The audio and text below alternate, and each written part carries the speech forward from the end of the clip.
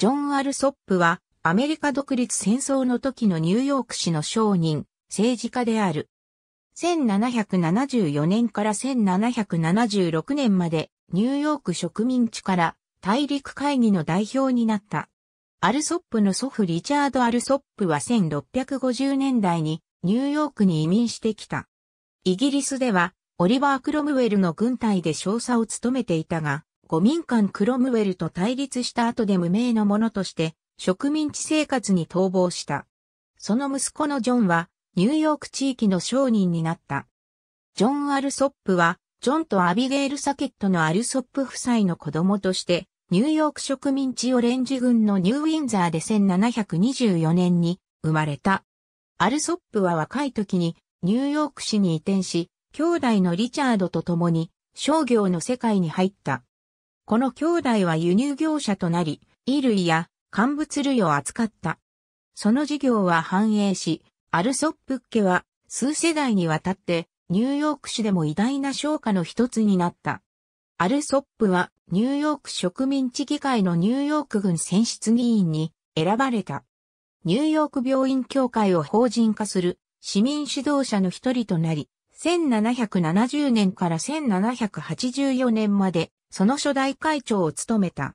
アメリカ独立革命の初期段階で、ニューヨーク植民地議会は、大陸会議について、態度を決められなかった。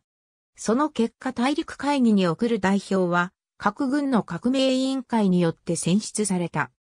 1774年、アルソップは、ジェームズ・デュワン、ジョン・ジェイ、フィリップ・リビングストン及びアイザック・ローと共に、ロングアイランドからオールバニ郡までのいくつかの郡から指名された。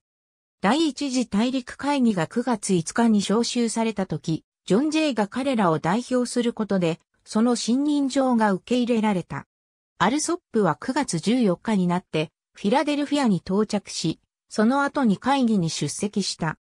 1775年に独立の機運が高まるにつれて、アルソップはニューヨーク市における暫定政府の形になった60人、委員会指導者の一人になった。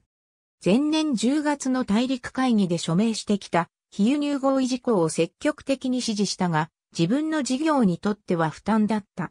アルソップは民兵の徴収とその装備を整え武装させることに活躍した。ニューヨーク植民地議会は植民地全体にかかる大陸会議を認知しようとしなかったので、アルソップはもう一つの革命ニューヨーク植民地会議議員に選出され、この会議がアルソップを第二次大陸会議に送り出すことになった。1776年はニューヨークにとっての登場で重要な年になった。この年の初め、アルソップは大陸会議の会期のためにフィラデルフィアにいた。大陸会議の代理人として、フィラデルフィアとニューヨークの間を数回旅し、その事業を通じて、物資、特に大陸軍のための火薬を調達した。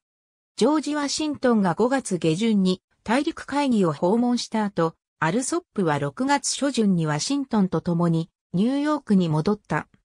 以前の物資問題のために働き続けながら、さらに8000名の大陸軍兵士のために兵舎を探す仕事が付け加えられた。8月にニュータウンにあったアルソップの家がイギリス軍に占領されるとマンハッタンからその活動を続けた。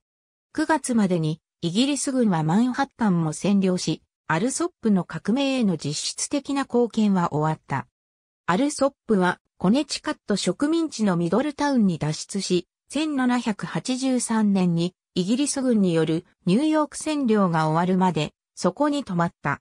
戦後、アルソップは家業の再建のために働き、再度市民指導者として活動した。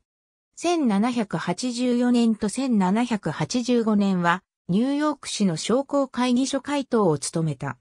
1786年、アルソップの一人娘メアリーが、後のニューヨーク州選出連邦上院議員、ルーファス・キング・ルーファス・キングと結婚した。アルソップの男の孫二人も連邦議会議員を務めることになった。アルソップは1794年11月22日にクイーンズ郡ニュータウンの自宅で死に、マンハッタンのトリニティ教会墓地に埋葬されている。ありがとうございます。